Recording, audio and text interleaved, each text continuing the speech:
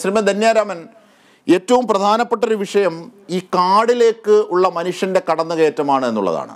അത് ആദിവാസികളായാലും അല്ലാത്തവരായാലും. ഇപ്പോൾ മുന്നൂറ്റിയൊന്ന് കോളനിക്കാണ് ഭീഷണിയെങ്കിൽ അത് മാത്രമല്ല പല റിസോർട്ടുകളും പല വിധത്തിലുള്ള കൃഷി സംവിധാനങ്ങളും ഒക്കെ കാടിനുള്ളിലേക്ക് മനുഷ്യൻ കടത്തിവിടുന്നു. അതാണ് പ്രശ്നമെന്നാണ് പ്രധാന ആരോപണമായി സംഗീതം ഉന്നയിക്കുന്നത്.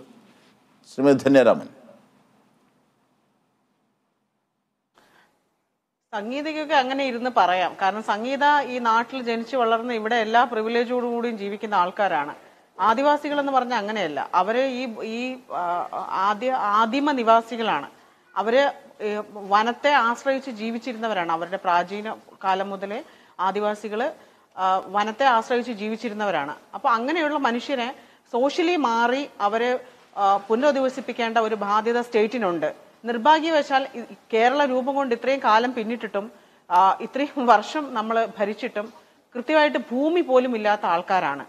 ഈ ചേരികളിലും കോളനികളും പുറമ്പോക്കിടങ്ങളിലും ഒറ്റമുറി ഷെഡുകളിലും ടാർപോളിന്റെ അടിയിലും കഴിയുന്നത് ഇവിടുത്തെ ദളിതരും ആദിവാസികളും മാത്രമേ ഉള്ളൂ.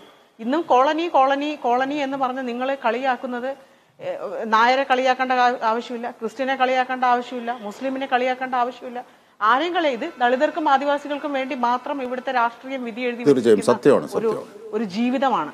ഞങ്ങൾക്ക് ആക്ച്വലി ഇതെന്നൊക്കെ പുറത്തു വരണമെന്നും ആ ഞങ്ങൾക്ക് ഈ ജീവിതത്തിൽ നിന്ന് പുറത്തു വരണം എന്ന് ആഗ്രഹമുള്ളവരാണ്. ആരാണ് നല്ല ജീവിതം ആഗ്രഹിക്കാത്തത്?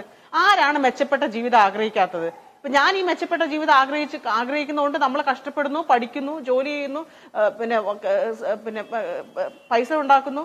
എല്ലാവരും ജീവിക്കുന്നത് അതിന് വേണ്ടിയിട്ടാണ്. നന്നായി ജീവിക്കാനും അവ- അവനവനവനോടും കുടുംബത്തോടും സമൂഹത്തോടുമുള്ള ബാധ്യത നിറവേറ്റാനും എല്ലാ മനുഷ്യരും ആഗ്രഹിക്കും.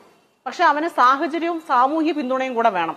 ഒരു വ്യക്തി വളർന്നു വരുമ്പോൾ തന്നെ ഒരു അവരുടെ വ്യക്തിത്വം കംപ്ലീറ്റ് ആവുന്ന എപ്പോഴാണ്? അവർ സമൂഹത്തിന്റെ പിന്തുണ കൂടി ഉള്ളപ്പോഴാണ്. ഇവിടെ നാട്ടുംപുറത്ത് ജീവിച്ച ഒരു മധുവിന് നാട്ടുംപുറത്ത് വനത്തോട് ചേർന്ന് ജീവിച്ച മധുവിനെ തന്നെ തല്ലിക്കൊന്നൊരു സമൂഹമാണ് ഇവിടെ ഉള്ളത്. എങ്ങനെയാണ് നിങ്ങൾ ദളിത് വിരുദ്ധരും ആദിവാസി വിരുദ്ധരുമാണ് നമ്മൾ എത്ര പറഞ്ഞാലും ഈ ആൾക്കാരൊക്കെ സംസാരിക്കുമ്പോൾ അറിയാതെ ഈ വിരുദ്ധത എവിടെയെങ്കിലും വാക്കുകളിലൊക്കെ ഒളിഞ്ഞിരിക്കും. നമുക്കത് മനസ്സിലാകും. അപ്പൊ നിങ്ങൾ? ഞങ്ങളല്ല അതിന് ഉത്തരം പറയേണ്ടത്. ഞങ്ങളുടെ ആൾക്കാർ മെച്ചപ്പെട്ട ജീവിതം ആഗ്രഹിക്കുന്നുണ്ട്. ആ നമ്മൾ മെച്ചപ്പെട്ട ജീവിതം ആഗ്രഹിക്കുന്നവരാണ്. അല്ലാതെ കാട്ടിൽ പോയി എല്ലാ കാലവും കാട്ടിൽ തന്നെ താമസിക്കണമെന്നും സർക്കാർ തന്നിട്ട് തിന്നണമെന്നും ആഗ്രഹമുള്ളവരല്ല.